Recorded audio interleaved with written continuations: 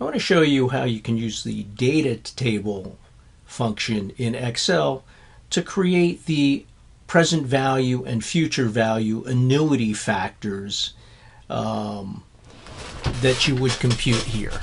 Now, these probably aren't all that useful, but it's a good exercise in understanding what the data table does and um, in sort of seeing, you know, actually maybe visualizing the different factors here. Now, the formula for the present value of an annuity, where C is the annuity, is C times this value that's in the brackets. Now, you can use this formula, and in the old days, before financial calculators and before spreadsheets, that's what we used, or we used tables in the back of the book. And if you look in the back of uh, most financial management textbooks, they still have these tables, even though people don't use them too much. But if you go back three or four decades before the financial calculator, you'll you'd find that these were in fact what you used to calculate the present value of an annuity or just present and future value. So these were quite common in the textbooks. And again, they still exist, although I don't suspect they're used very often. So what I have here is you'll notice that this factor doesn't depend on C. It's the same no matter what. So if I make C equal to 1, I'll just get this factor here. So down here, I'm going to recreate this. I'm going to solve for one value for 1% and 5 periods. And here you can see that I've actually created the table already. So that would be what would go right here. You know, 1% and 5 periods. But we're going to fill in the table using that data table function, and it's going to be really easy to do.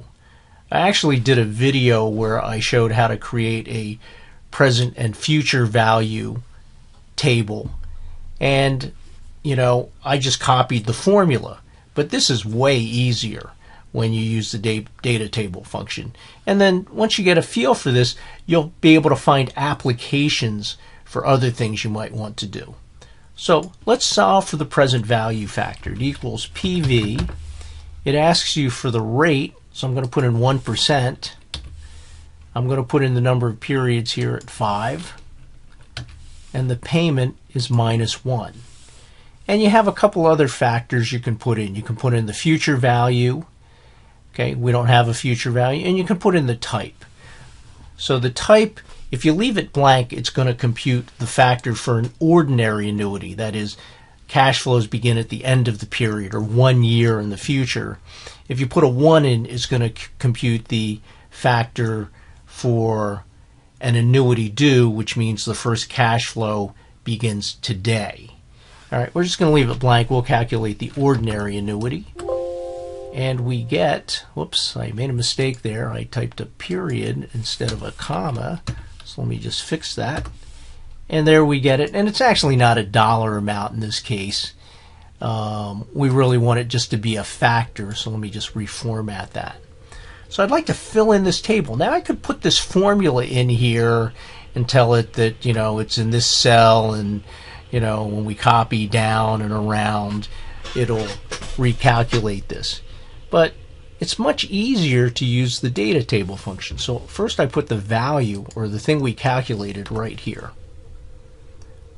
And then I'm going to now calculate, or I'm going to now highlight this entire um, table. So I'm going to go out to 10% and 15 periods, but of course you could do much more if you wanted to.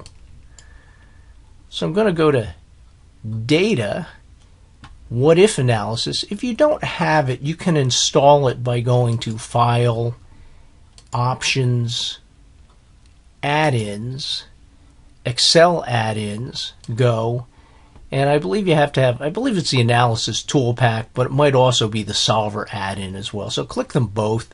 They come in kind of handy. So I have this highlighted, and so I have, I've gone to my Data tab. I'm going to click What If, Data Table, it's going to ask me for the row input. The row input is the percentage, so I'm going to highlight this. And then it's going to ask me for the column input, and these are the, this is the time period, so I'm going to hit this. And now I'm going to hit OK. and it's filled the entire table for me, which is quite nice. So let me just let me format it so they all have the same number of decimal places. We probably don't need quite that many decimal places. So let's see here. Maybe we'll cut it back to, I'll go back one more. All right, so you can see that at 1% for five periods, this is what we had over here. We actually weren't showing as many decimal places, so if I expand it, you'll see it's the same number here. But we get this factor for everything. So if you wanted to know if you invested $100 a year at 6% interest for 10 years, you would go right here where that grid meets and you'd multiply the $100 times the 7.63 uh, 7.3601 and you'd have what $736 and a penny. So that would be the present value of that annuity.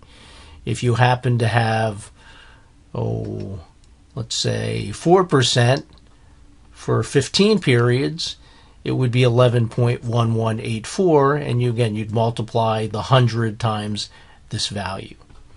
If you want to do the future value for an annuity, again, it's the same formula here. It's this formula here, right? Now we're just going to calculate the future value. So I'm going to say equals FV. And again, the rate is in the same place. The number of periods is here. And again, I'm putting in a negative value for the for the PMT. Again, it's not really a dollar amount that we want. We just want that factor. Let me expand the decimal places a little bit.